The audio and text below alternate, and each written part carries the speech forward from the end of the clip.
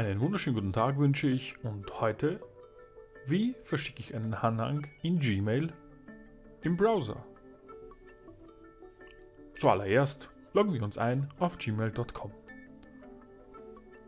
Dann öffnen wir eine neue Mail. Links in der Ecke auf Schreiben. Es öffnet sich ein kleines Fenster. Ich bevorzuge die größere Variante. Dafür vergrößere ich das Fenster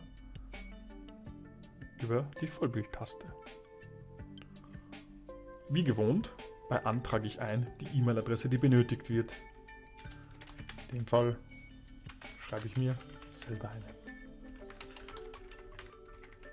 Betreff Information zu den Daten, die ich verschicke. Kurz und bündig würde ich hier empfehlen. Und nun Information in der E-Mail selber, wenn man den möchte.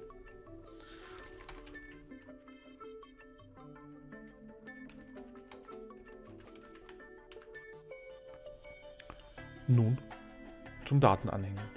Im unteren Bereich befindet sich eine Büroklammer. Datei anhängen. Wir suchen sie aus. Es öffnet sich der Explorer. Dort kann ich in meinem Verzeichnis nach der richtigen Datei suchen.